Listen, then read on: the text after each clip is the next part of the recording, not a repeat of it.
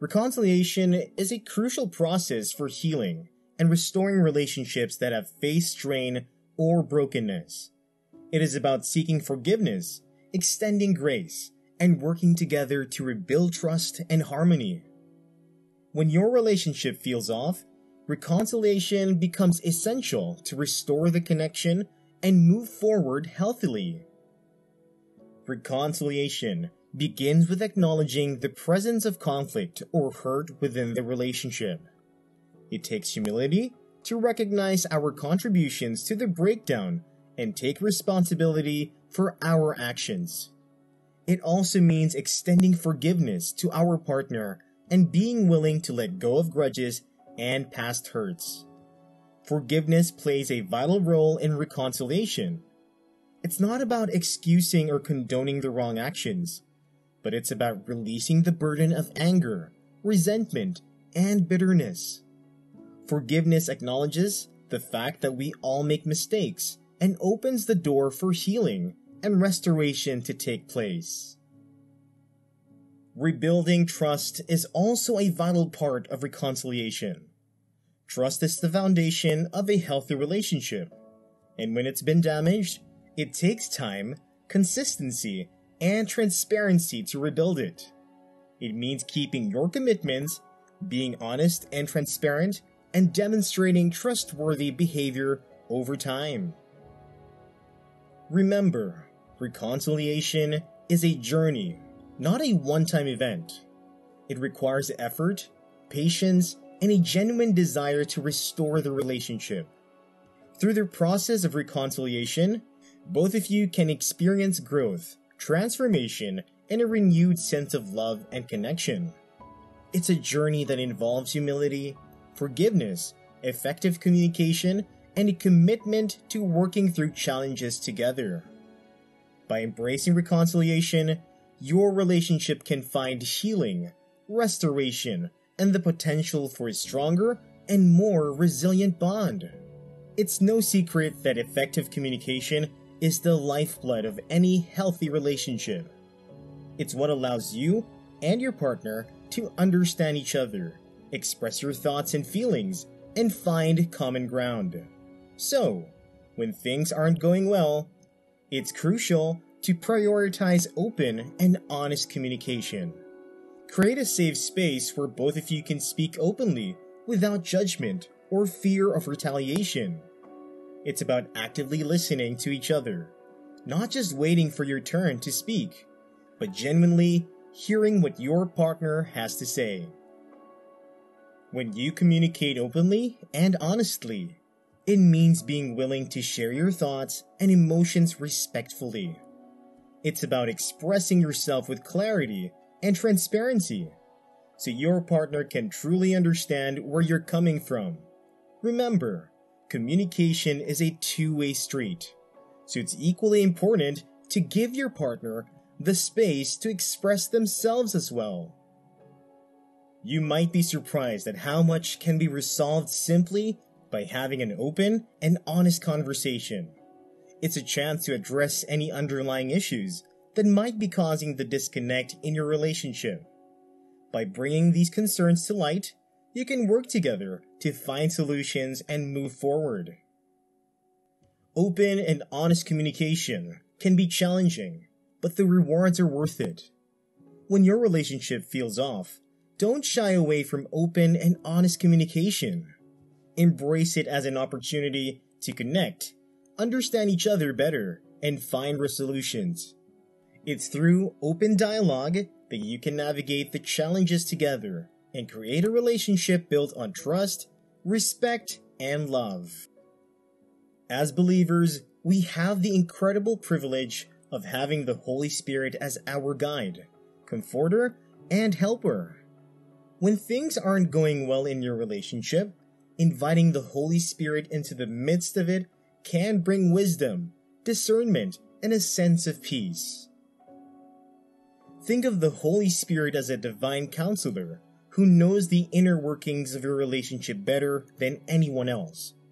By involving the Holy Spirit, you open yourselves up to His guidance and direction. prayer is a powerful way to involve the Holy Spirit in your relationship. Take time together as a couple to pray. Seek God's guidance and surrender your relationship into His hands. As you pray, be attentive to the promptings of the Holy Spirit. He may lead you to specific scriptures that offer guidance and encouragement. He may bring to light areas in your relationship that need attention or healing. He may also reveal areas where you need to repent, ask for forgiveness, or make changes in your attitudes or behaviors. Pay attention to the whispers of the Holy Spirit, for He speaks in gentle nudges and impressions. Remember, involving the Holy Spirit is not a one time event, but an ongoing process. It's about developing a relationship with Him, seeking His presence daily, and being sensitive to His leading. Therefore, when your relationship feels off, don't underestimate the power of involving the Holy Spirit. Seek His presence, invite His guidance, and trust in His ability to bring restoration. With the Holy Spirit as your companion, you can experience a deeper level of connection, healing, and growth in your relationship. There are times when the challenges we face in our relationships require the wisdom and perspective of others who have walked a similar path or possess a deep understanding of God's principles for healthy relationships. Seeking godly counsel means reaching out to someone who is spiritually mature, wise, and trustworthy. This could be a pastor, a mentor, a trusted friend, or a professional Christian counselor. These individuals can provide valuable insights, guidance, and support as you navigate the difficulties in your relationship. Sometimes we become so immersed in our own emotions and perspectives that we lose sight of the bigger picture. Having a godly counselor allows for an objective viewpoint and an outside voice of wisdom. They can help you gain clarity, identify underlying issues, and offer practical advice on how to restore and strengthen your relationship. It's important to approach seeking counsel with humility and an open heart. Be willing to listen and receive feedback, even if it may be challenging or uncomfortable. Remember, the purpose of seeking counsel is not to find someone who will simply agree with your perspective, but to gain insights that can lead to growth and restoration. Keep in mind that seeking counsel doesn't imply that there is something fundamentally wrong with your relationship. It is a proactive step toward seeking guidance and support to overcome the challenges you're facing. Just as iron sharpens iron, seeking godly counsel can sharpen and strengthen your relationship. If your relationship feels off, don't hesitate to reach out for godly counsel. Surround yourself with wise and spiritually mature individuals who can provide guidance, prayer, and encouragement. Through their insights and the work of the Holy Spirit, you can find the support and direction you need to restore and nurture your relationship. Prayer is one thing to do when your relationship feels off that can bring change and restoration. You should understand that life is spiritual this is the first and foremost understanding that every human should have. You will do yourself great harm when you think that everything that is on this earth is just materialistic and there are no forces that are controlling the earth. That is a great deception on your part.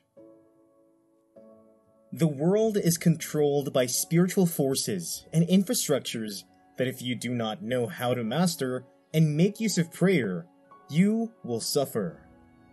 God is real, and He's the sovereign ruler of the earth.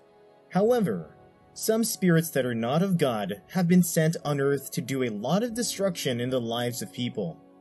There are unclean spirits, there are wicked spirits, and there are evil spirits who are sent by the devil to break relationships and cause chaos in society.